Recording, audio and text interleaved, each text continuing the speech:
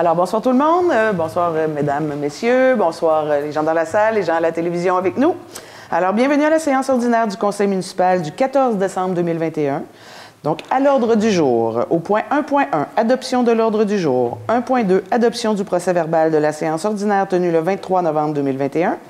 1.3, mot de la mairesse. 1.4, adoption du règlement numéro 576-2021 relatif à la circulation de véhicules lourds et des véhicules outils. 1.5, avis de motion et dépôt de projet de règlement, règlement décrétant un emprunt de 439 450 afin de financer la subvention du ministère des Affaires municipales et de l'Habitation accordée dans le cadre du programme de la taxe sur l'essence et de la contribution du Québec. 1.6. Adoption du projet de règlement numéro 578-2021, modifiant le règlement de zonage numéro 436-2011 afin d'agrandir la zone 206-CT à même une partie de la zone 203-CN, d'y permettre les campings et d'y réduire à 30 mètres la distance minimale entre les emplacements des tentes et des roulottes et tout chemin public. 1.7, dépôt, rapport d'audit de conformité de la commission municipale portant respectivement sur l'adoption du budget et l'adoption du programme triennal d'immobilisation, donc municipalité de moins de 100 000 habitants. 1.8, adoption du calendrier des séances ordinaires du conseil municipal pour l'année 2022. 1.9, office municipal d'habitation de Percé. 1.9.1, désignation d'une représentante au conseil d'administration. 1.9.2, prévision budgétaire 2021 révisée au 24 novembre 2021 et au 1er décembre 2021. 1.10, mandat d'accompagnement de mise en œuvre du régime de redevance réglementaire. 1.11, approbation des comptes. 1.12, demande au service de certification du ministère de la Justice, délivrance de clés de certificat pour des signatures numériques au conseil juridique et procureur.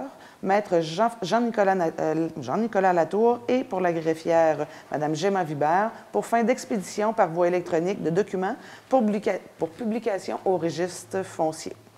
1.13. Quittance à Mme Janine Deneau, achat du lot 488-6-30, Village Percé, maintenant le lot 5 606 506, au terme d'un acte publié au Bureau de la publicité des droits de la circonscription foncière de Gaspé à Percé le 20 octobre 1987 sous le numéro 109 086. 1.14. La Saucette 2021 au profit d'opération Enfant Soleil demande de soutien financier. Au point 2, sécurité publique. 2.1, appel d'offres public pour l'achat d'un camion autopompe neuf. Offre de service d'Alain Côté Consultant. Assistance, volet, analyse des soumissions. 2.2, contrat NR Duguay Construction, travaux de rénovation à la caserne de Percé, demande de paiement numéro A2. 2.3, les constructions scandinaves, contrat de construction de la caserne de pompiers de Barachois, demande de paiement numéro 4. Au point 3.1, donc 3 voiries municipales, 3.1, poste de directeur des travaux publics. 3.2, poste saisonnier hiver d'ouvrier opérateur. 3.3, banque de candidats ouvriers opérateurs. Ajout. 3.4, engagement des employés saisonniers hiver, saison 21-22. 3.5, constitution d'une banque de candidats en mécanique diesel. 3.6, entretien d'hiver de propriété municipale au cours de la saison 2021-2022. 3.6.1, caserne incendie de Cap d'Espoir. 3.6.2, caserne incendie de Barachois et point d'eau de Barachois et Bridgeville. 3.6.3, entrée et stationnement des installations d'assainissement des eaux usées situées au 25 route du Phare à Cap d'Espoir. 3.6.4, virée de véhicules à l'extrémité du deuxième rang de Barachois Nord. 3.7, travaux de réfection de diverses rues et, remplacement de ponceaux dans le cadre du volet accélération du programme d'aide à la voirie locale. Donc 3.7.1, contrat Eurovia Québec Construction, des comptes numéro 2. 3.7.2, avis au ministère des Transports de non-achèvement des travaux à l'intérieur de la période allouée et présentation d'un nouvel échéancier. 3.8, programme d'aide à la voirie locale, sous-volet projet particulier par circonscription électorale, reddition de compte, subvention de 9, 500 3.9, demande au ministère des Transports du Québec, priorisation des travaux sur le territoire de la ville de Percé. 3.9.1, secteur de la route 132, Pic de l'Aurore. 3.9.2, secteur de la route 132 à Cap d'Espoir. Au point 4, aménagement, urbanisme et développement. 4.1, désignation d'un représentant du conseil municipal au comité consultatif d'urbanisme. 4.2, demande au ministère de la Culture et des Communications, transfert de, responsabilité concernant la protection du site patrimonial de Percé. 4.3, parc municipal de la rivière Émeraude à Bridgeville. 4.3.1, Concours d'aménagement et de paysage, offre de service de M. Philippe Drolet, architecte, conseiller professionnel et gestionnaire de projet. Esquisse concept du trottoir en rive. 4.3.2, signalisation touristique, proposition de l'Alliance de l'industrie touristique du Québec. 5.1, demande d'aide financière. 5.1.2, comité de gestion du centre communautaire de Val d'Espoir et la troupe Les Valeureux 2009, les artisans du marché de Noël et activités courantes.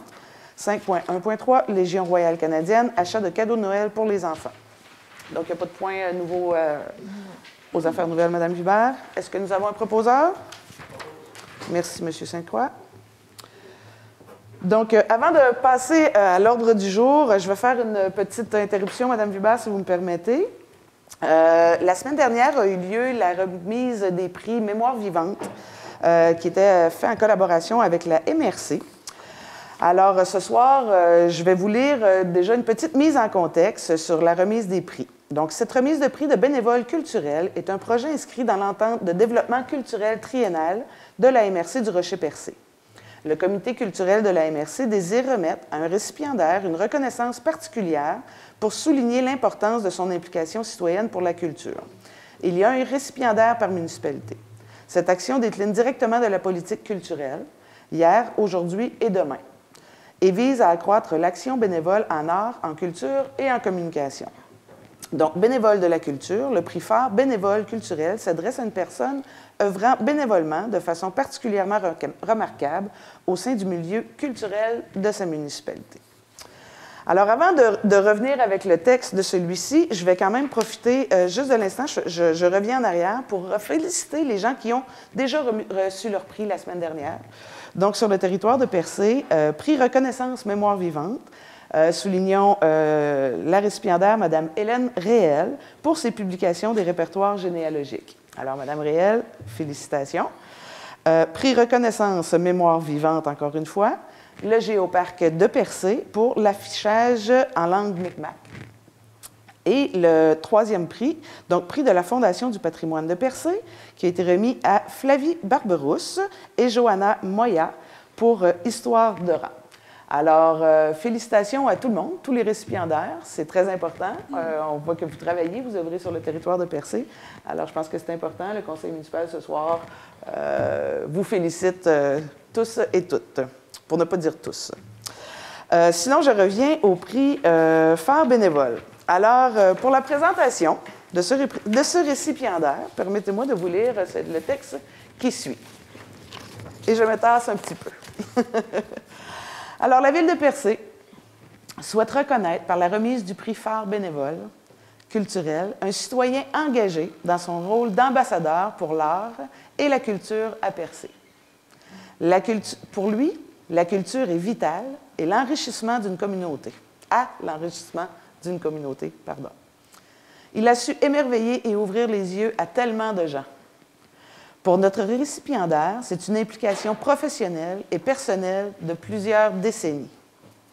C'est un homme qui aime en parler, qui aime l'enrichir, qui aime les artistes et les artisans, qui la projette avec des médiums tout azimut, qui la défend dans le plus grand respect et qui, en même temps, nous l'impose en plein cœur du village. Sans lui, nous serions différents. Nous n'aurions pas pu rencontrer des artistes extraordinaires, nous n'aurions pas pu admirer des œuvres qu'on ne pouvait rêver d'être présentées ici à Percé. Les portes du musée s'ouvrent année après année. Il nous accueille avec une passion toujours plus grande, exposition après exposition. Le meilleur est toujours à venir avec lui. Par son engagement, il porte toute sa grande famille, ses concitoyens et ses amis dans l'émerveillement de la culture et des arts. Il est un ambassadeur de la beauté de Percé auprès de centaines d'artistes d'ici, au Canada et également en Europe.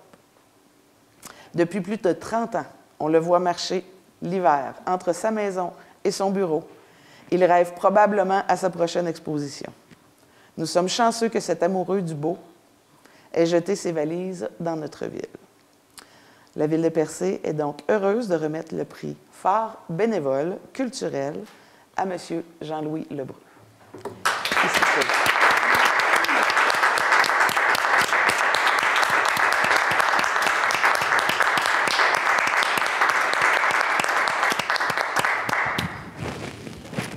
Et là, je prends quelques instants. Je vous invite, M. Lebrun.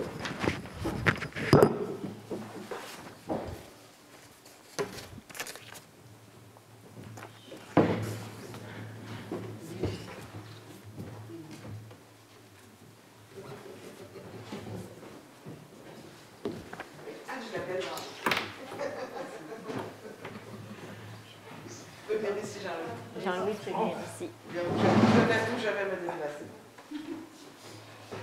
Alors, Jean-Louis, ah, attends. on a des masques. Merci, bravo. Ben, c'est- c'est- c'est- je- je- je me C'était demande- ça, Jean-Louis. Très honnêtement, je vais aller chercher également quelque chose. Allez-y. Prenez votre temps.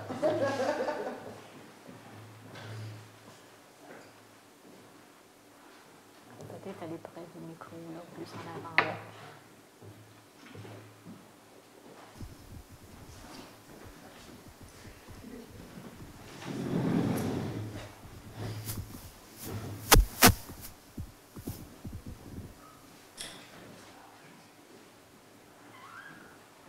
Je vais essayer.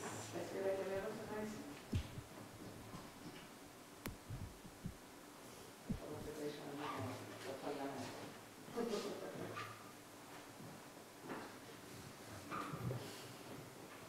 Alors, voilà. Écoutez, je, je- je- je suis tout, je ne vais pas bouger, mais très ému parce que très honnêtement, je me demandais bien pour quelle raison on m'avait demandé ce soir d'aller d'abord à Grande-Rivière.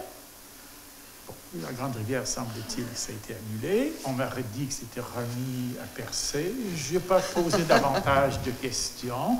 On m'a dit c'est à 7 heures. Alors, comme ma maison n'est pas très loin, je me suis dit, bon, ben, je vais- aucune raison d'arriver en retard.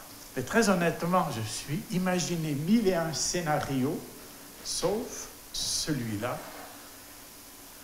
J'ai écouté les propos de Mme Poirier qui m'ont beaucoup, beaucoup, beaucoup touché. Je vous remercie tous très sincèrement et je sais que vous formez une équipe et au sein de la ville de Percé et c'est ça vraiment qui compte pour euh, l'avenir. Et comme le disait si bien Madame Poirier dans son, si je peux pas ça mon éloge funéraire, mais c'est tellement bien dit que je, c'est c'est effectivement, je suis venu un jour euh, à Percé, il y a de cela en 1983. Donc je connaissais Percé un peu avant, mais j'étais pendant de nombreuses années, toutes les années où j'étais en Europe euh, aux études, euh, je n'y suis pas venu, donc j'y suis venu enfant, puis je suis revenu euh, après. Et il y avait ce bâtiment, le chaffaut, qui était là, et les portes étaient ouvertes. Alors je me suis dit, je vais aller voir, qu'est-ce qu'il y a à l'intérieur de ça. C'était les gens de Percé, et j'ai toujours respecté ça. Il y avait d'ailleurs M. Blondin, qui était vraiment l'initiateur de tout ça. Puis j'ai dit, mais oui, il y a ça, il y a ça, mais Percé a aussi, a aussi toute une, une richesse incroyable qu'il faudrait mettre en valeur. Je ne vous dis pas que ça a été facile dès le début, ça ne l'est pas plus aujourd'hui, pour d'autres raisons. Mais, comme me disait Mme Poirier, donc, euh, le musée a été en mesure de réaliser de grandes expositions avec vraiment peu de moyens, mais très peu. Ce qui fait qu'aujourd'hui, le chafaud, plutôt grâce. D'abord, c'est peut-être très, très égoïste, mais quand j'organise une exposition, je me fais d'abord plaisir à moi-même. Je ne pourrais pas supporter d'être au musée pendant quatre mois ayant devant moi des œuvres que je ne peux pas contempler, admirer. Je préfère dire non à l'artiste plutôt que de dire ben oui, bien, puis. non. Et puis, euh, de fil en aiguille, euh, le, musée, effectivement, a progressé, euh, a, progressé. On a eu des, artistes, effectivement, internationaux. Vous voyez, aujourd'hui, on parle de Jean-Paul Riopel à travers le Canada. Ben, le musée l'a exposé en 80 et quelques, à l'époque où tout le, musée occupait tout l'espace en fait du bâtiment. Ce qui n'est plus le cas, les difficultés, les difficultés s'accumulent. Mais enfin, passons sur ça. Passons sur ça et c'est, je dis, je, suis tout. Euh, j'aurais pu préparer quelque chose, mais, très, très, très mais vous faites très bien ça. ça mais j'ai quand même, quand même apporté. Un jour, j'ai eu, euh, vous savez, euh, vous avez tous comme moi entendu parler des fameux espaces bleus qui m'ont mis en, en, joie le vert, c'est-à-dire étant donné que ce que l'on voulait faire et tout ça. Et je dois vous dire que c'est jamais arrivé dans ma carrière qu'une mère, mère ou mairesse de Percé vienne me voir personnellement à mon bureau pour me parler de ce dossier-là. Donc, si elle a fait ces démarches, c'est que ce dossier-là lui tenait à cœur. Et ça, c'était au mois d'août. Et ce soir, je lui remets officiellement à, à elle, à la ville de Percé et au conseil municipal un document que j'ai préparé depuis cette époque-là, et aussi incroyable que ça puisse paraître, que je n'ai terminé qu'aujourd'hui. il est signé le 14 décembre 2021. Alors j'ai voulu faire le tour du, problème, du problème, enfin, la villa versus le chafaud, enfin, et puis tout ce besoin. Alors, Parce que vous savez, je, je, t'interromps, euh, Jean-Louis, que l'histoire de la villa Frédéric James, personne ne la possède comme M. Lebreu. Tous les artistes qui ont œuvré, qui ont produit des œuvres, qui, hein, de, de, Frédéric James euh, au suivant, euh, cette mémoire, c'est M. Jean-Louis Lebreu qui la possède. Alors, si euh, l'information est à l'intérieur de ça, c'est ce que je crois comprendre? Je peux même vous montrer en première mondiale une photo de Frédéric James. Une photo de Frédéric Je pense que ça va être un document très, très pertinent.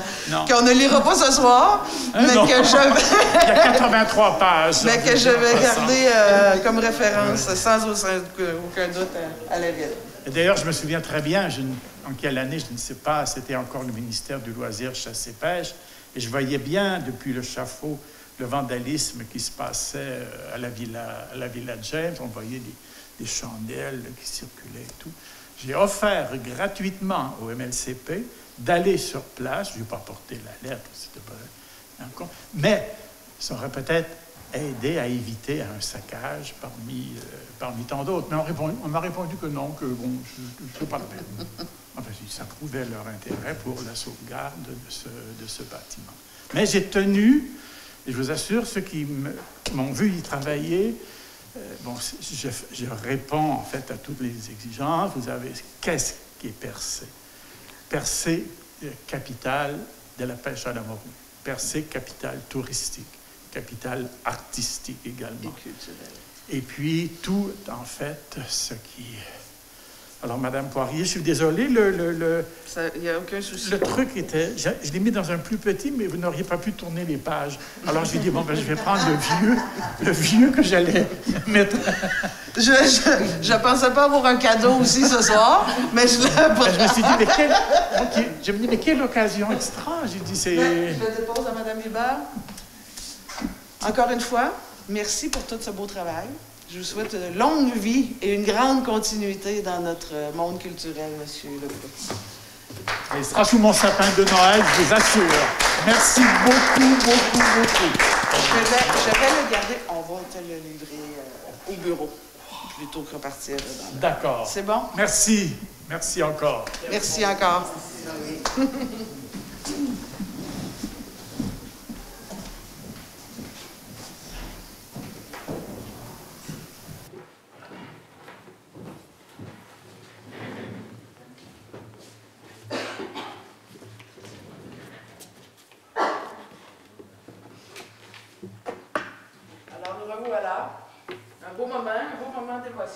Vraiment un beau moment euh, de belle reconnaissance.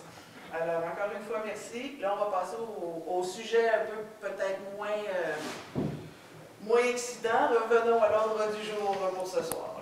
Alors, adoption du procès verbal de la séance ordinaire tenue le 23 novembre 2021. Tous, vous l'avez reçu? Oui. Je ne sais pas si on m'entend. euh.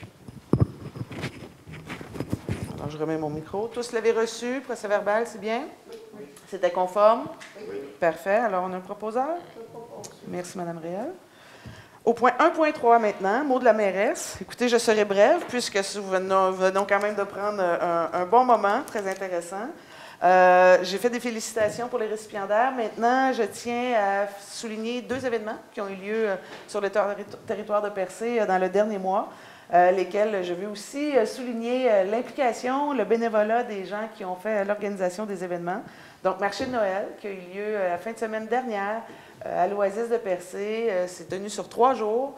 Franchement, bravo aux organisateurs. Deux, deux organisateurs avec évidemment de l'aide de plusieurs bénévoles. Mais franchement, un très bel événement, rassembleur, les kiosques, bravo aux participants, bravo à tous les exposants. C'était vraiment un événement d'une grande réussite. Alors, bravo. Euh, deuxième, au fait, c'était la semaine d'avant, parce que la semaine dernière, la fin de semaine dernière, c'était la saucette euh, pour Opération Enfant Soleil. Alors, encore une fois, je tiens à souligner euh, ben, le travail des bénévoles, de tous les sauceurs, de tous les donateurs également. On a fracassé des records encore une fois, d'année en année, mais là, cette année, je pense que c'est grandiose, plus de 100 000 euh, qui, qui sont remis. Franchement, encore une fois, bravo. C'est un événement qu'on est fiers de maintenir sur le territoire de la ville de Percé. Puis, euh, ben, c'est super. C'est vraiment très bien. Alors, encore une fois, félicitations. Euh, troisième petit point, écoutez, euh, un peu moins glorieux, un événement qui a eu lieu cette semaine sur le territoire de Percé, que j'ai vu passer dans les réseaux sociaux dimanche en soirée. Donc, problème au niveau des travaux publics cette semaine, euh, voirie municipale. Il y a eu un secteur qui a eu une déficience au niveau de l'entretien, déficience euh, très notable, euh, je- je- j'en conviens. Euh, Je ne l'ai pas su avant de le voir par les réseaux. Euh, évidemment, on a réagi rapidement, euh, les, correctifs ont été faits. Écoutez, je ne voudrais pas rentrer dans les détails ou cibler qui que ce soit ou quoi que ce soit au niveau des travaux publics. Euh, il y a réellement eu un manquement, donc il y a réellement eu une mauvaise communication au niveau des travaux pu- publics euh, ce week-end, ce qui fait en sorte qu'un a pensé que l'autre et l'autre a pensé que un. Donc euh, ça ne s'est pas fait. Euh, il n'y a pas eu la- la patrouille nécessaire. Donc les, les- gens, quand ils ont quitté leur chiffre cette journée-là, euh, se sont demandé si tout avait été fait et apparemment que tout avait été fait. Donc ce n'était évidemment pas le cas. Je sais que dans la soirée de dimanche, euh, bon, euh, le, le- le retour de la normale a eu lieu. Euh, L'équipe de soir ont travaillé et ont ramené là, la route dans un état plus, euh, plus convenable. Alors je tiens à m'en excuser pour les gens du secteur. Sachez que ce n'est pas, euh, ce n'est pas volontaire, ce n'est pas politique, c'est vraiment un oubli. L'erreur est humaine. Euh, les gens ont été avisés et ça ne devrait plus se reproduire.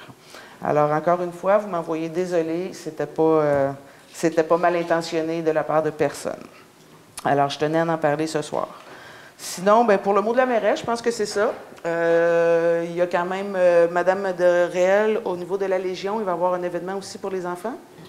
Qui va avoir lieu. Excusez-moi, je vous pose les questions parce que je n'ai pas les détails. Alors, euh, je- Euh, ben, c'est supposé des dimanches, euh, mais je pense que le mien que M. Lettre aussi m'a dit, c'est qu'il va donner des euh, cadeaux aux enfants en voiture par voiture. Ils ne pourront pas rentrer à, à l'intérieur. situation sanitaire fait en sorte que ça serait trop compliqué. Ça. Mais la remise des prix des cadeaux pour les enfants va avoir lieu. La remise des cadeaux pour les Oui, enfants va avoir lieu. C'est vraiment, ça va jusqu'à Fort-Prével, c'est vraiment des cartes d'espoir à Fort-Prével. Bon, de Cap d'Espoir à Fort-Prével, en passant par Val d'Espoir, évidemment. C'est très bien. Dans tout, le, dans tout le territoire de Percé. Bon, ben, très bien. Donc, ça devrait avoir lieu dimanche, euh, dimanches euh, après-midi, j'ai pas l'heure. le 19 décembre. C'est bien ça? Oui, C'est bien ça.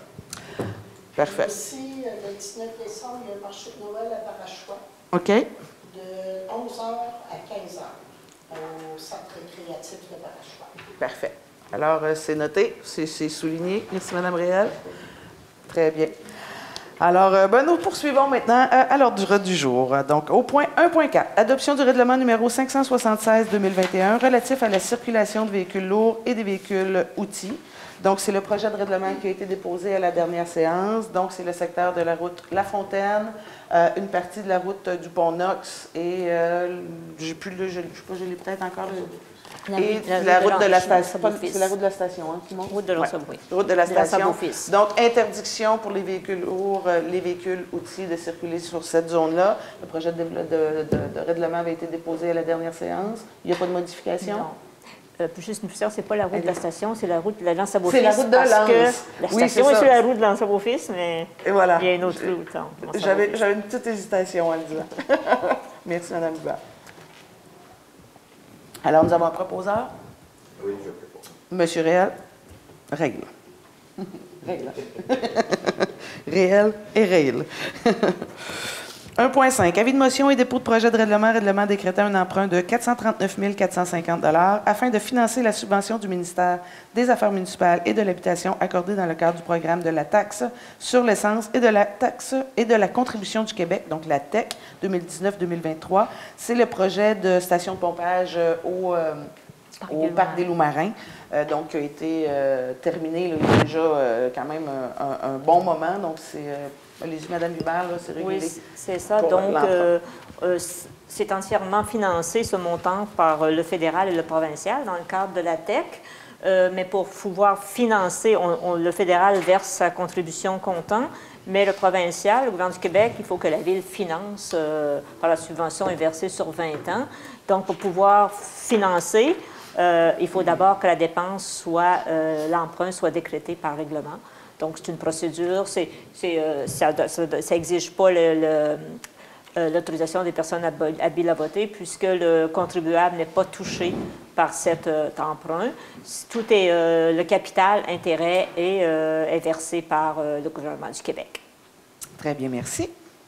Alors, euh, qui donne avis de motion? Madame Réel? merci.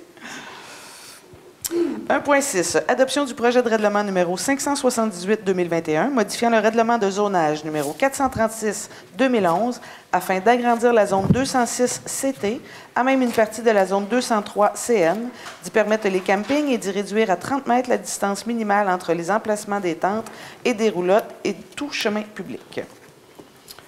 Donc, Madame je- C'est euh, c'est situé dans le secteur de la côte du Pic de l'Aurore. Euh, le propriétaire euh, du motel qui est euh, déjà existant a un projet de développement d'un camping. Donc, ça nécessitait la- la- l'allongement, l'agrandissement de la zone où est située sa propriété. Donc, il s'agit d'agrandir la zone à partir d'une zone voisine, la 203. euh, euh, 203. euh, C'est, euh, donc, c'est, 206 euh, à même une 200, partie de la zone 203 203 CN. Per- ils permettent les campings parce que ce n'est pas permis dans cette zone-là actuellement. Puis aussi de réduire actuellement la limite euh, minimale entre les emplacements pour les tentes et les roulottes euh, d'un camping et euh, le- la route, le un chemin public est de 60 mètres. Euh, donc, euh, ici, on, nous demande de, diminuer, euh, diminuer à 30 mètres, ce qui s'est fait déjà euh, il y a quelques années par une modification du règlement de zonage pour un camping à la sortie du village de Percé. Donc, c'est un projet euh, de règlement qui va être soumis, euh, comme à l'habitude, à une assemblée de consultation publique. Qui doivent- qui, les, avis vont être publiés dans le journal et sur le site Internet, ainsi que sur la page Facebook. L'assemblée de consultation publique devrait avoir lieu le 11 janvier. Euh, à 19h, c'est la soirée où le conseil se réunit, donc on, on profite de le faire euh, en même temps. Très bien. Merci. Donc, nous avons un proposeur? Merci, Madame Cahill. Donc, 1.7. Rapport d'audit de conformité de la commission municipale portant respectivement sur l'adoption du budget et l'adoption du programme triennal d'immobilisation, municipalité euh, de moins de 100 000 habitants. Donc, c'est vraiment, euh, c'est un dépôt, en fait, c'est un rapport que nous avons reçu de la commission municipale pour dire que tout était conforme sur le budget 2021 et le plan de triennal d'immobilisation, donc, qui avait été déposé l'an dernier. C'est Oui, des a- nouvelles procédures, donc voilà, le dépôt, euh, les conseillers en ont, euh, en ont pris, euh, en ont pris connaissance. Ensuite, 1.8, adoption du calendrier des séances ordinaires du conseil municipal pour l'année 2022. Donc, euh, comme à l'habitude, les séances auront lieu le premier mardi du mois, à l'exception du mois de janvier, euh, laquelle sera le 18 janvier, euh, donc toujours à 19h, comme à l'habitude. Au mois de février, il y aura aussi euh, une, une, modification. Donc, normalement, le premier mardi du mois et le premier, euh, la séance aura lieu le 8 février, donc encore une fois à 19h. Et pour le restant de l'année, les séances seront le premier mardi du mois comme, comme on est habitué. Alors, est-ce que nous avons un proposeur? Merci, Mme Roussy. 1.9, Office municipal d'habitation de Percé. Donc, 1.9.1, désignation d'une représentante au conseil d'administration. Donc, il est proposé que la mairesse, Mme Cathy Poirier, soit désignée pour représenter la ville au conseil d'administration de l'Office municipal d'habitation de Percé, en remplacement de l'ex-conseillère municipale, Mme Doris Bourgette. Nous avons un proposeur? Merci, Mme Aucoeur. 1.9. Prévision budgétaire 2021 révisée au 24 novembre 2021 et au 1er décembre 2021. Donc, en date du 24 novembre 2021, pour les dépenses établissant 283 443 et des revenus à 268 533, incluant la contribution de la Société d'habitation du Québec de 134 188, auquel s'ajoute la contribution de la Ville de Percé au montant de 14 910. En date du 1er décembre 2021, pour des dépenses s'établissant à 298 135 et des revenus à 281 756, incluant la contribution de la Société d'habitation du Québec de 147 411, auquel s'ajoute la contribution de la Ville de Percé au montant de 16 379. Maintenant, je précise, ce n'est pas des montants qui se multiplient ou qui s'ajoutent, c'est vraiment des mises à jour. Donc, euh, plusieurs fois dans l'année, euh, la Ville doit toujours euh, s'assurer de payer 10 du déficit des offices municipaux d'habitation. Donc, euh, il y a un montant qui est présenté en début d'année, puis dépendamment des circonstances ou des besoins de l'OMH, euh, il y a des budgets qui sont révisés euh, périodiquement comme celui-ci. Donc, depuis la dernière séance, il y a eu deux ajustements. Donc, le montant annuel, on est rendu à 16 379. Donc, ça, c'est le montant total. Donc, est-ce que nous avons un proposeur? Merci, Mme Réel. 1.10. Mandat d'accompagnement de mise en œuvre du régime de redevance réglementaire. Donc, considérant que le 28 septembre 2021, le Conseil municipal adoptait le règlement numéro 575-2021, imposant une redevance réglementaire pour contribuer au financement des infrastructures touristiques municipales, considérant que la Ville souhaite bénéficier, souhaite bénéficier des services d'un comptable professionnel agréé pour la mise en œuvre du régime de redevance créé en vertu de l'article 3 du règlement numéro 575-2021. Donc, en conséquence, il est proposé aux conseillers et conseillères d'accepter l'offre de service de 90 55 37 51 Québec Inc., donc Daniel Leblanc, CPA et CA, daté du 24 novembre 2021, visant à accompagner la Ville dans la mise en œuvre de son régime de redevance réglementaire et ce suivant une banque estimée à 125 heures au taux horaire de 150 de l'heure d'approprier les crédits nécessaires au paiement de cette dépense par un virement de l'excédent de fonctionnement non affecté au compte excédent de fonctionnement affecté, activité de fonctionnement. Euh, donc, c'est ce, qui avait été... Euh, c'était ce qui avait été engagé par la municipalité lors du règlement sur la redevance réglementaire. Donc, on avait mentionné qu'il y aurait quelqu'un, euh, une ressource professionnelle pour accompagner les commerçants. Donc, euh, c'est fait. Euh, ce soir, on entérine. Le conseil était déjà avisé que euh, le mandat a été confié la semaine dernière. Donc, M. Leblanc a déjà débuté les travaux. ce soir, on entérine le mandat.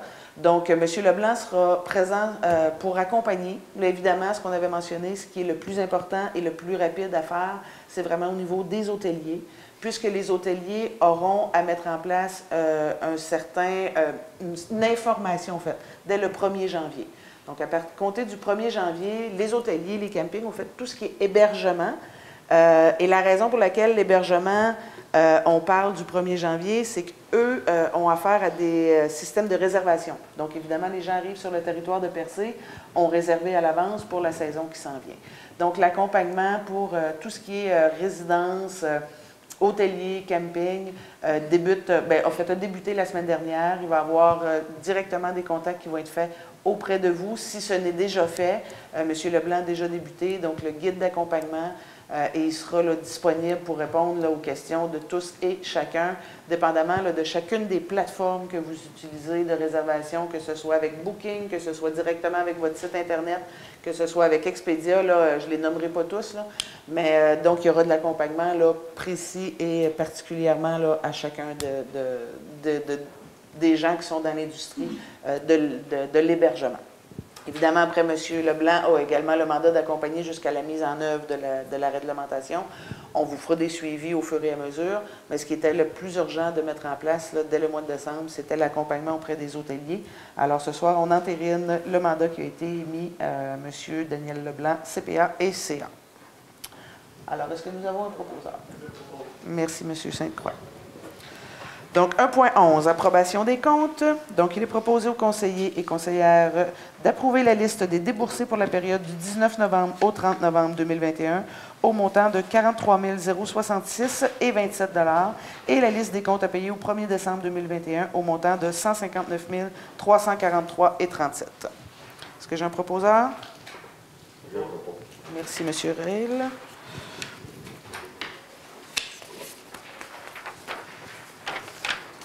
Donc, 1.12, euh, demande de service de certification du ministère de la Justice, délivrance de clés et de certificats pour les signatures numériques au conseiller juridique et procureur Maître Jean-Nicolas Latour et à la greffière Mme Jean Vibert pour fin d'expédition par voie électronique de documents pour publication au registre foncier. Alors, Mme Vibert, je vous laisse euh, donner les détails. Oui, c'est ça. Euh, depuis le 8 novembre dernier, euh, la transmission euh, de documents pour fin de publication au registre foncier doit obligatoirement se faire de façon électronique, euh, comme les notaires le font depuis plusieurs années. nous, ce qu'on faisait ici, c'est qu'on allait se chercher une réquisition sur le registre foncier, parce qu'on a un compte sur le registre foncier, et ensuite on allait déposer les documents au palais de justice. Maintenant, ce n'est plus possible. Donc, quand nous aurons des documents à publier au registre foncier, on devra obligatoirement le faire par, euh, électroniquement. Et pour ça, euh, il faut être reconnu par le ministère de la Justice.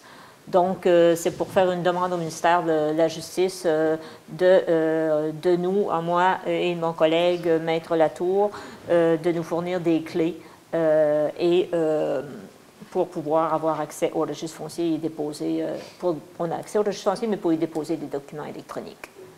Moi, c'est surtout principalement dans le cadre des ventes pour taxes, alors que Maître, euh, maître euh, Latour, c'est dans plusieurs procédures que la Ville peut faire. Euh, Très bien. Alors, nous avons un proposeur? Merci, M. Sainte-Croix. Donc, 1.13, quittance à Mme Janine Deneau, achat du lot 488-6-30, rang Village de Percé, maintenant le lot 5 606 506, au terme d'un acte publié au Bureau de la publicité des droits de la circonscription foncière de Gaspé à Percé le 20 octobre 1987 sous le numéro 109 086.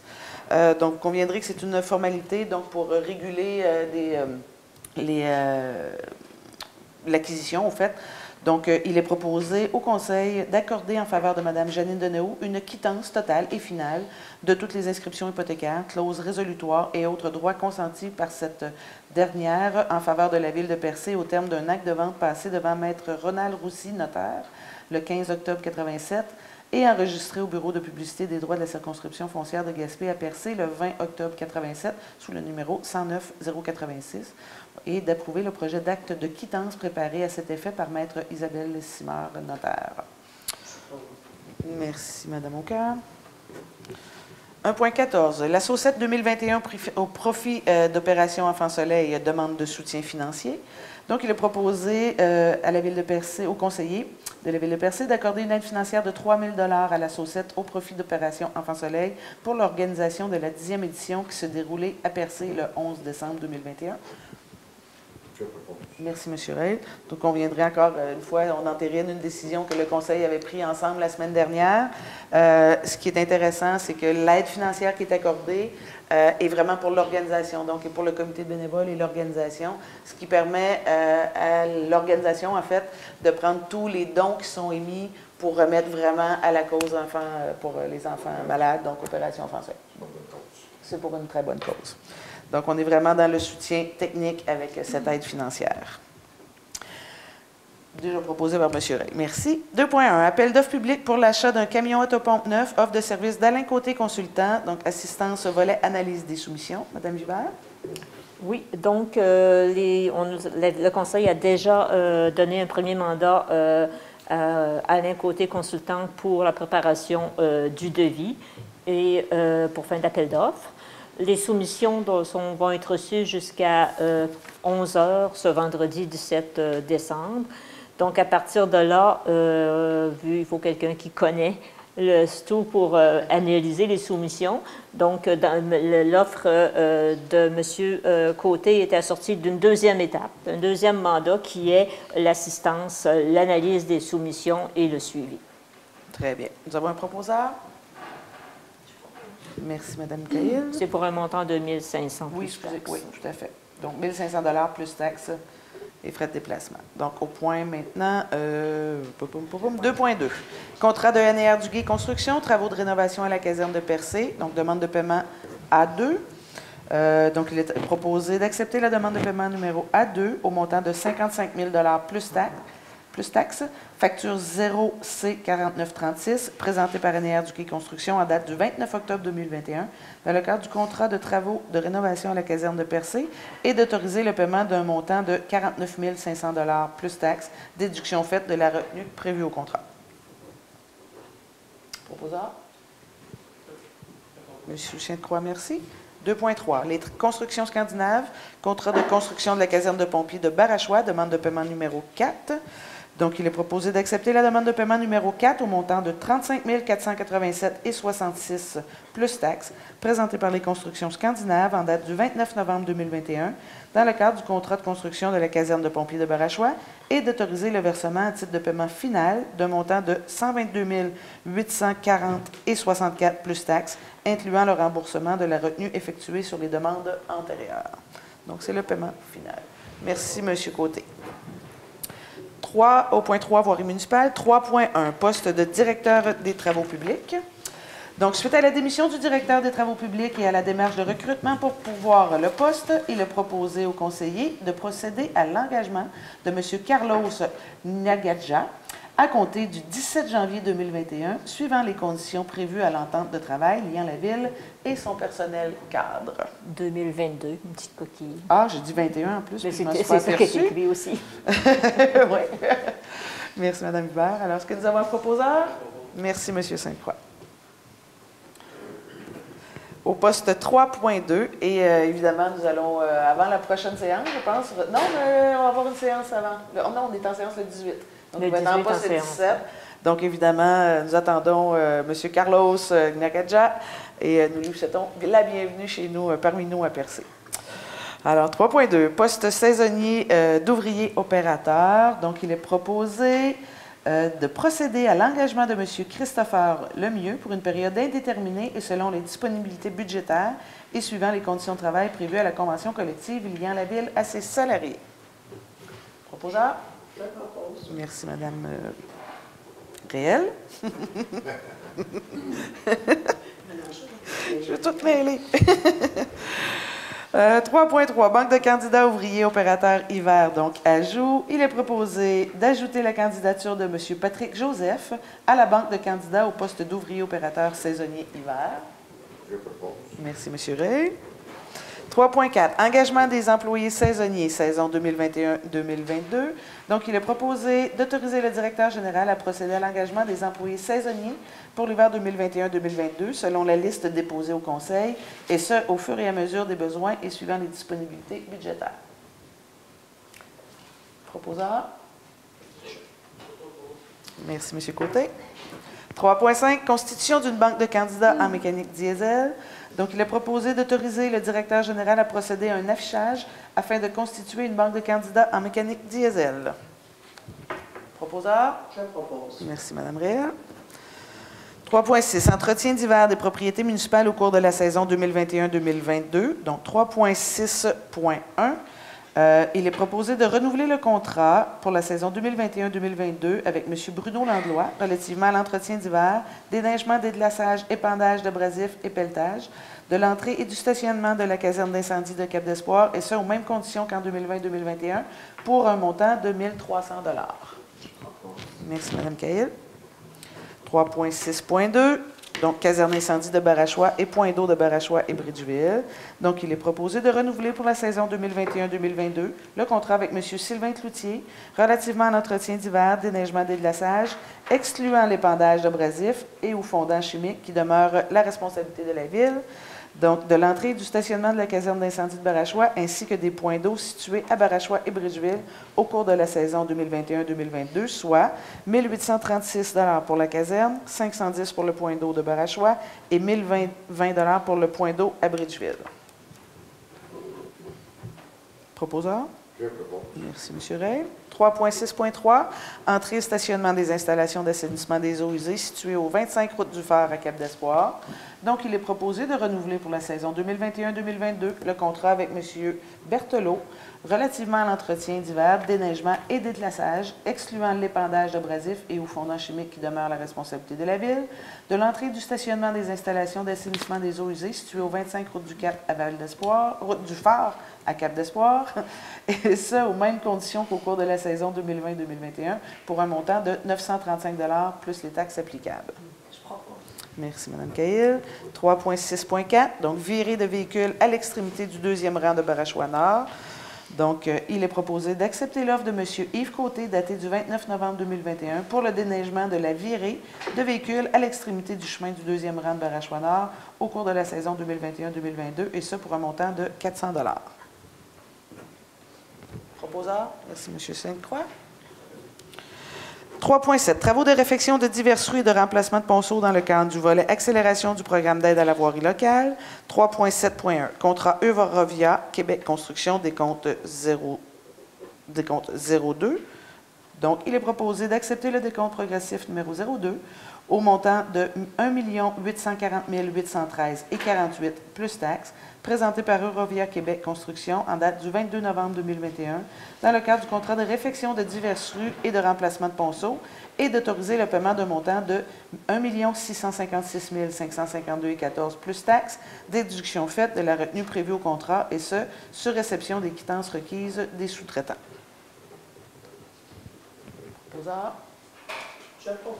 Merci, Mme Réel. 3.7.2. Avis au ministère des Transports de non-achèvement des travaux à l'intérieur de la période allouée et présentation d'un nouvel échéancier.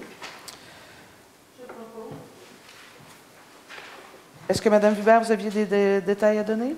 Euh, non, bah, simplement dire que la majorité des travaux euh, ont, été terminés cet automne. Il reste quelques correctifs à apporter, mais ça ne pourrait pas se faire avant, euh, le, avant Bon, le contrat, la Ville jusqu'au 22 juin pour réaliser les travaux suivant l'entente. On n'est pas certain de pouvoir le, réaliser avant le 22 juin, ça va dépendre de la période de dégel, tout ça. Donc, euh, on propose de, nous présenter un nouvel échéancier au ministère des Affaires municipales, au ministère des Transports pour euh, le 30 septembre. Ça va sûrement être réalisé en dedans. Ça nous donne un délai. On a vu de cette année avec le projet de l'an passé, là, ça a été plus long avant de le terminer. Oui. Donc, ça donne un délai euh, pour s'assurer que les travaux soient bien, euh, bien complétés euh, d'ici l'été prochain. C'est bien, très bien. Alors, Mme Roussy, vous aviez proposé? Oui. Parfait. Merci, Mme Roussy.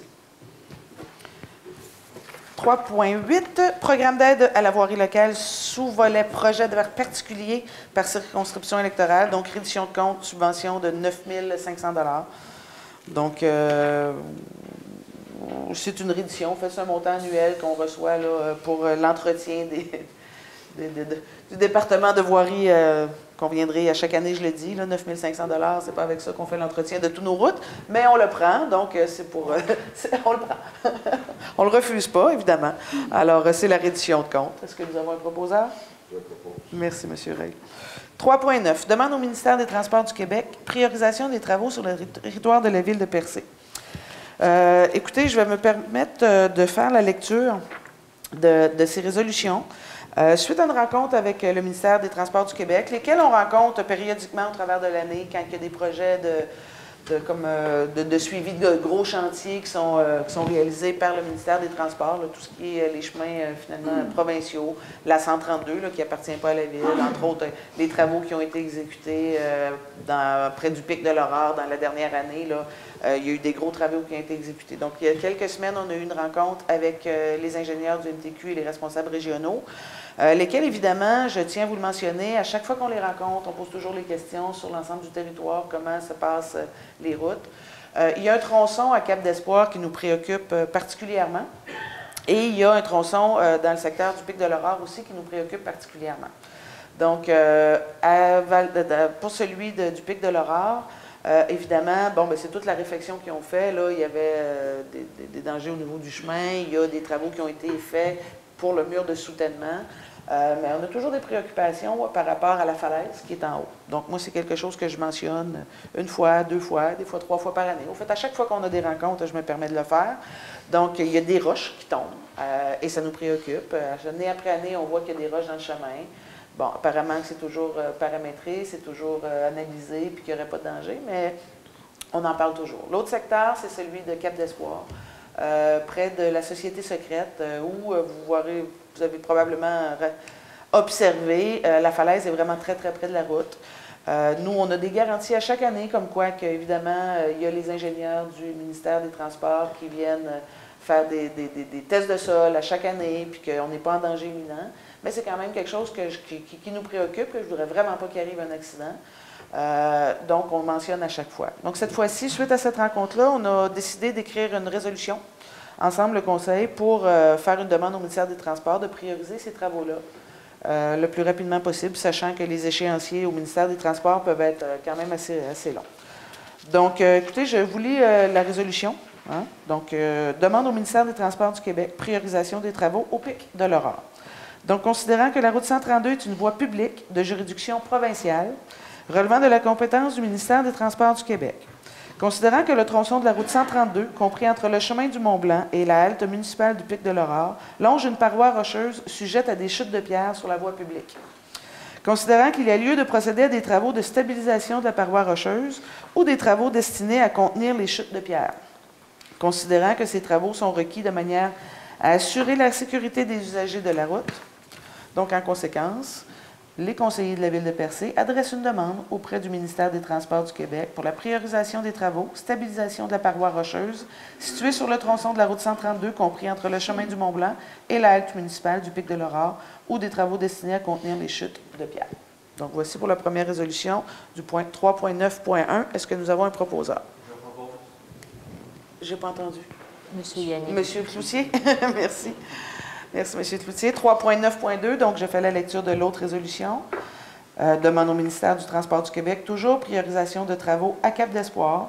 Donc, considérant que la route 132 est une voie publique de juridiction provinciale relevant de la compétence du ministère des Transports du Québec, considérant que le tronçon de la route 132, compris entre la route de la station et de la route de Lens à longe des falaises en bordure du golfe Saint-Laurent, considérant que ces falaises sont sujettes à l'érosion côtière, considérant qu'il y a lieu de procéder à des travaux destinés à contrer l'érosion côtière afin de préserver l'intégrité de ce tronçon de la route 132.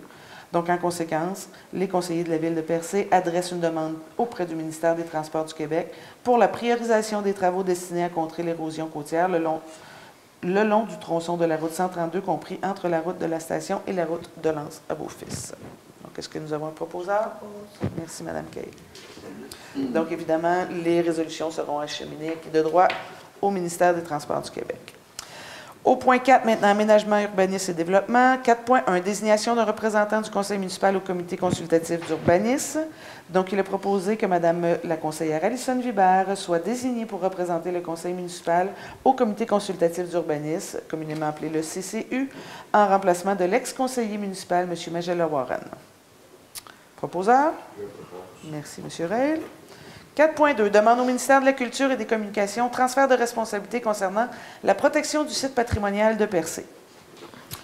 Donc, je vous lis la résolution, puis je donnerai des détails par la suite. Donc, considérant qu'en vertu de l'article 165 de la loi sur le patrimoine culturel, une municipalité locale peut présenter par règlement de son conseil une demande de transfert de responsabilité quant à la protection d'un site patrimonial déclaré. Considérant que la Ville est soucieuse des enjeux concernant la protection du site patrimonial de Percé et qu'elle souhaite exploiter toutes les avenues lui permettant l'amélioration des conditions de préservation de ce, de ce dernier, Considérant que le citoyen qui souhaite réaliser des interventions dans les limites de ce site patrimonial de Percé doit effectuer des demandes autant auprès de la Ville qu'auprès du ministère de la Culture et des Communications du Québec, Considérant que ces processus menés conjointement constituent un dédoublement d'intervention de nature administrative, considérant que le transfert de responsabilité simplifierait le processus et permettrait aux citoyens de s'adresser uniquement à la Ville, Considérant que le transfert de responsabilité aurait pour effet de réduire les délais de traitement des demandes d'autorisation de travaux et, conséquemment, les délais d'obtention de permis des citoyens demandeurs, donc, en conséquence, il est proposé que le Conseil de la Ville adresse une demande auprès de la Direction régionale du ministère de la Culture et des Communications du Québec afin de débuter le processus permettant de procéder à une demande de transfert de responsabilité concernant la protection du site patrimonial de Percé. Euh, au fait, euh, c'est l'arrondissement naturel, communément aussi appelé, le site patrimonial qui est le secteur central de la ville de Percé, donc le, village de Percé, avec euh, un, peu de, périphérie. Euh, vous savez, c'est une problématique qui est, qui est, vécue par les citoyens, laquelle nous sommes très conscients ici à la ville de Percé, mais qui ne relève pas jusqu'à ce jour euh, de la ville de Percé. Donc, toutes les demandes d'autorisation, que ce soit pour de la construction neuve, de la rénovation, des changements de fenêtres, des changements de, toiture, de, galeries, euh, tout ce que ça peut comporter doivent passer par le ministère de la Culture et de la Communication, lequel la municipalité ne peut pas s'ingérer. On a un département d'urbanisme ici à la ville de Percé qui est très compétent, qui connaît c'est quoi les mesures de cette, euh, euh, protection, euh, je dirais, patrimoniale de, de, ce site que nous sommes chanceux et privilégiés d'avoir. Donc, l'important, c'est de demander pour nous euh, un transfert de cette responsabilité-là pour certains dossiers. Évidemment, la Ville ne s'engagerait pas pour des dossiers plus complexes s'il y avait de l'implantation de gros bâtiments. Évidemment, le ministère serait sollicité. Mais quand c'est des travaux plutôt mineurs, quand c'est des demandes pour des toitures, quand c'est quelque chose qu'on considère avoir la compétence à l'interne pour émettre les permis et les autorisations, je pense que ce serait tout opportun qu'on puisse euh, bénéficier de cette, euh, de cette gestion-là, surtout pour les délais. On sait qu'il y a des citoyens qui font des demandes de permis. Euh, le ministère, apparemment, sont bousculés de demandes. ça peut être extrêmement long, ça peut prendre des mois. Des fois, les demandes sont adressées à l'hiver, ça va aller à l'automne avant qu'il y ait une réponse. considérant la courte période qu'on peut faire des travaux, hein, on est quand même Hein? On est quand même une saison estivale euh, qui ne s'étend pas sur 12 mois. Alors, euh, je pense que c'est opportun de faire la demande au ministère de la Culture. Ça se fait dans d'autres villes au Québec. Donc, c'est un début de processus. On verra comment ça va s'acheminer. Mais présentement, c'est un intérêt qui se manifeste de la ville pour avoir au moins cette possibilité-là de dégager autant le ministère, puis de permettre un service plus rapide auprès du citoyen. Alors voilà ce que nous avons à proposer. Merci, Madame Aucoeur. 4.3, Parc municipal de la rivière Émeraude à, Bridgeville, pardon. Je vais dire à Percé. Hein? c'est Percé aussi, mais c'est surtout Bridgeville. Alors, 4.3.1, concours d'aménagement et de paysage, offre de service de M. Philippe Drolet, architecte, conseil, conseiller professionnel et gestionnaire de projet, esquisse concept du trottoir en rive. Donc, il est proposé d'accepter l'offre de M. Philippe Drolet, architecte, conseiller professionnel et gestionnaire de projet pour la réalisation d'un esquisse concept d'un trottoir en rive dans le cadre du concours d'aménagement de paysage du projet Parc de la rivière Émeraude, et ce pour, mandat, pour un mandat de 60 heures au taux horaire de 110 de l'heure. D'approprier les crédits nécessaires au paiement de cette dépense par un virement de l'excédent de fonctionnement non affecté au compte excédent de fonctionnement affecté. Donc, euh, juste, je vous donne des petits détails, puis en même temps, un certain suivi sur le fameux concours. Euh, donc, vous savez qu'il y a un, concours d'architecture qui est en cours pour le design euh, et l'aménagement au fait de, paysagère du parc de la rivière aux Émeraudes. Euh, le concours avait été lancé en début de saison, lequel, parmi les 12 participants, quatre finalistes ont été retenus. présentement, les finalistes travaillent sur des, sur des concepts plus spécifiques. C'est vraiment très intéressant. C'est qu'on travaille avec des firmes très intéressantes. Euh, toutefois, c'est ajouté une petite problématique, puis c'est de là où ce mandat à M. Drolet euh, s'ajoute, c'est-à-dire que l'accessibilité à la chute euh, dans, le, dans le concept comporte au fait des, ben, des complications peut-être un peu plus au niveau de, la bande riveraine. Donc, évidemment, nous, ce qu'on souhaite faire comme intervention, c'est sur l'ensemble du territoire du parc, mais le moins d'intervention possible sur le site de la chute.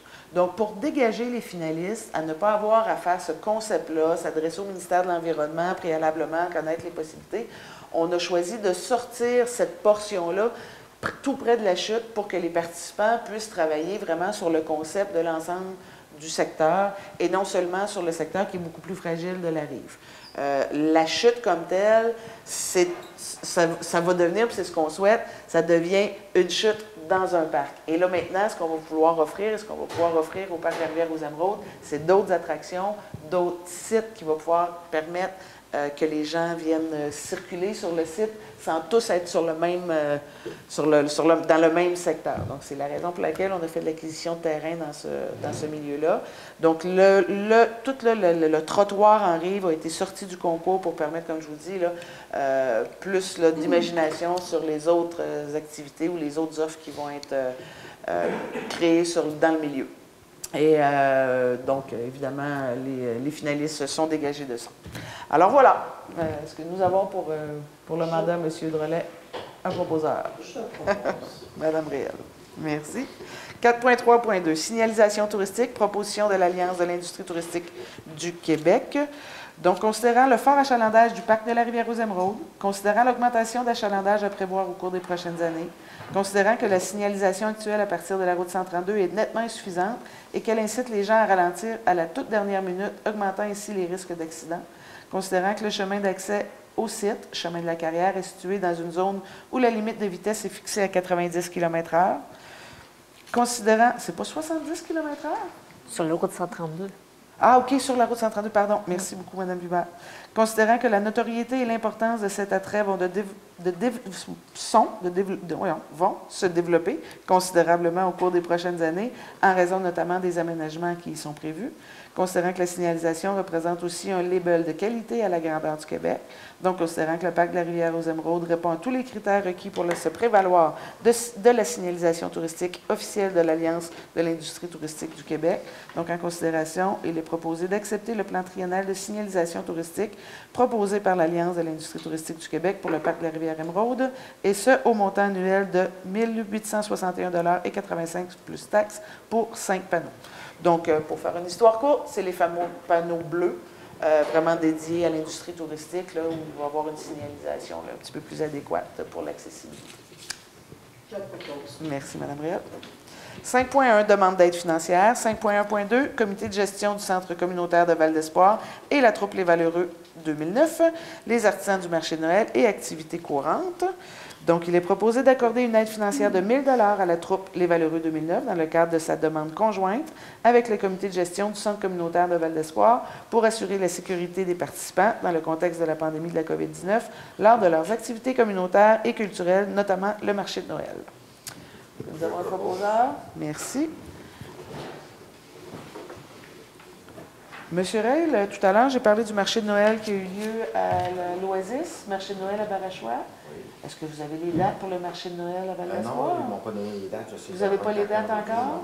OK. Je vais t'en venir là-dessus. Oui, bien, je vous inviterai à communiquer avec Cynthia ouais. peut-être pour qu'on puisse les annoncer là, ouais, sur la page Facebook de la Ville. Là, déjà, ça pourrait être. Euh, ça marche. Hein, pour inviter les gens de tout l'ensemble du territoire à aller, euh, à aller y participer. Donc, proposé par M. Euh, Mme Hubert. 5 points. C'est confondant. Je vais toutes vous appeler par votre petit nom. 5.1.3, Légion royale canadienne, achat de cadeaux de Noël pour les enfants. Donc, il est proposé d'accorder une aide financière de 500 à la Légion royale canadienne, filiale 261 Rocher-Percé, pour l'achat de cadeaux de Noël à l'intention des enfants de moins de 12 ans du Grand Percé. Je propose. Merci, Mme Réel. Alors voilà pour euh, les, euh, les, points à l'ordre du jour. Nous n'avions rien euh, aux affaires nouvelles. Alors, c'est période de questions. S'il y a des gens qui veulent s'adresser à la période de questions, c'est le moment.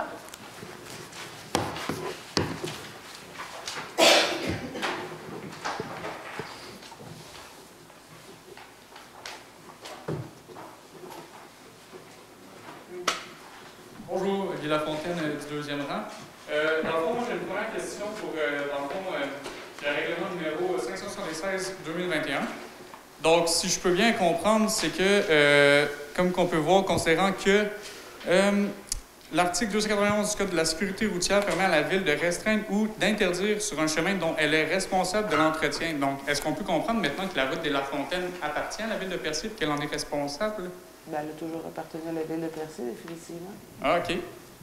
Puis ensuite de ça, j'aimerais savoir, le, le véhicule d'incendie qui a eu un accident, il était-tu assuré? Bien sûr. Puis le nouveau, il va l'être aussi? Bien sûr. OK. Ensuite de ça, euh, au niveau, c'est une. m'a demandé, euh, bah, tiens, je vais passer par là. Le déneigement des trottoirs au niveau du centre-ville ici de Percé, est-ce que c'est quelque chose qui va être prévu pour la sécurité des gens? C'est prévu, puis ça a toujours été fait. OK, ben là, ils ne sont pas faits présentement. Euh, ensuite de ça, euh, j'avais une question aussi au niveau euh, de la rue commerciale, savoir si ça pourrait être considéré d'avoir euh, une rue des festivités et de l'art visuel, considérant l'importance justement du patrimoine euh, artistique de la ville. Ça fait partie des concepts à développer. Puis ensuite de ça, euh, la dernière question que j'aurais, c'est au niveau du centre de données. Ça serait de savoir aussi qu'on en est justement avec la fameuse plante qui a été identifiée euh, sur les lieux. Puis j'aimerais savoir aussi si vous avez eu des détails sur le système de refroidissement qui va être utilisé. Ah non, on n'est vraiment pas rendu là, M. Lafontaine. On, est pas, on, est, on, est, on est loin d'être rendu là. On est vraiment dans une élaboration de concept. OK. Fait que ça, vous avez déjà les terrains, mais vous n'êtes pas rendu là. On n'a pas fait l'acquisition du terrain. OK. Il y a juste eu le changement d'utilisation. Il n'y a pas eu de changement d'utilisation non plus. Mais c'est pas une zone de conservation naturelle qui est devenue une zone industrielle? C'est pas encore fait? Il n'y a pas de zone de conservation sur ce territoire-là. C'est- La zone de conservation se situe en périphérie, mais le territoire visé, ce n'est pas une zone de conservation. OK. Bon, c'est tout. Parfait. Merci. Alors, est-ce que nous avons un proposeur pour lever l'Assemblée? Je suppose. Oh, attendez, attendez. Avant de fermer, je voulais le dire au début, mais je pensais qu'elle attendait à la fin, puis je suis en train d'oublier. Alors, ben écoutez, les vœux de Noël, quand même. J'ai parlé des marchés. Alors, écoutez, euh, c'est la dernière séance 2021.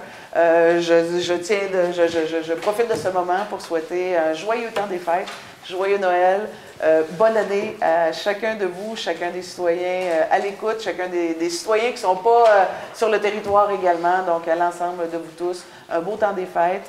Euh, on a des permissions, euh, en tout cas j'espère qu'ils vont tenir, euh, de rassemblements un peu plus grands en famille, entre amis. Alors euh, je vous souhaite beaucoup de bonheur, beaucoup de plaisir, puis euh, un temps de repos aussi également. Alors euh, encore une fois, joyeuses fêtes à vous tous. Voilà. Et la levée de l'Assemblée était faite par Madame Réal.